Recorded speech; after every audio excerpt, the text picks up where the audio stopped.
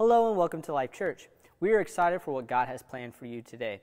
As you're inviting your seats, here's what's coming up here at Life Church over the next couple weeks. Now, every Monday here at Life Church, we've been having meetings for those involved in our ACT support group. This is an important group used in helping those dealing with addictions to find their freedom in Christ.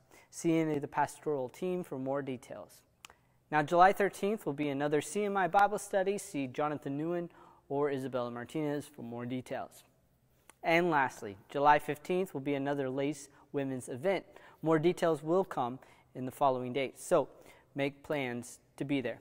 That's all for right now. If you missed anything or would like to know more about Life Church, visit our website at azlife.church. Also, if you are new here and this is your first time, thank you so much for joining us. We're glad that you are here. Be sure to stop at the welcome desk for your newcomer's gift. Now, let's continue in worship with Life Praise.